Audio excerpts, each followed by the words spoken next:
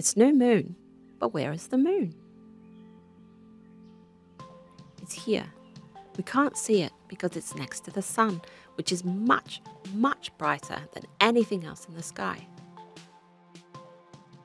Another reason we can't see it is that it's between us and the sun. The bright lit side of the moon is facing away from us.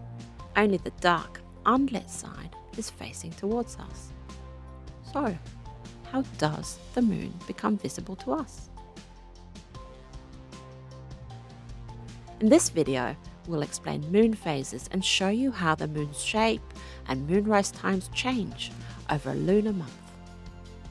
Every day, the moon rises around 50 minutes later than the day before. A few days after new moon, it rises a few hours after the sun and is almost impossible to see in the bright sky. As the sun sets, a slender crescent appears. Overall, half of the moon is always in sunlight, half in darkness. As the moon orbits Earth, it changes just how much of the lit up side we can see.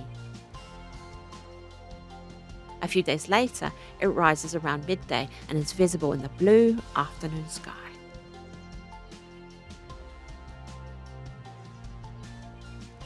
As seen from Earth, the moon is 90 degrees from the sun and exactly half its face is illuminated. This is the first quarter moon because the moon has gone one quarter of the way around Earth. So, what's next? Stay with us and see what happens to the moon as it travels through its phases. And remember, the moon rises about 50 minutes later each day. About two weeks after new moon, it's rising at sunset. Full moon is the only phase where the moon is up for the whole night.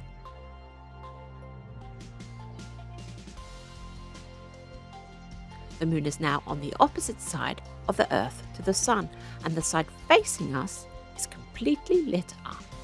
This is the halfway point of the lunar month, and the moon continues to rise later and later. About a week after full moon, the third quarter moon is rising around midnight. As before, half of the moon's face is illuminated. But it's the other way around to the first quarter moon two weeks ago.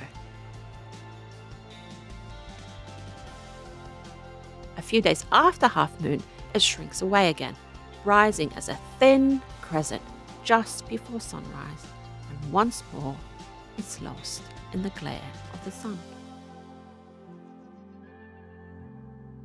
As the moon passes between the Earth and the Sun, we're back at new moon again. It's been just over four weeks since the last new moon, and the lunar cycle begins again. And now it's over to you. What's your favourite moon phase? A delicate crescent moon, a bright full moon, or a quarter moon against the blue sky? Tell us in the comments below. And one more thing if you're in the southern hemisphere, the moon appears the other way around and travels in the other direction across the sky. Remember, subscribe so you don't miss out on our videos and live streams of solar and lunar eclipses.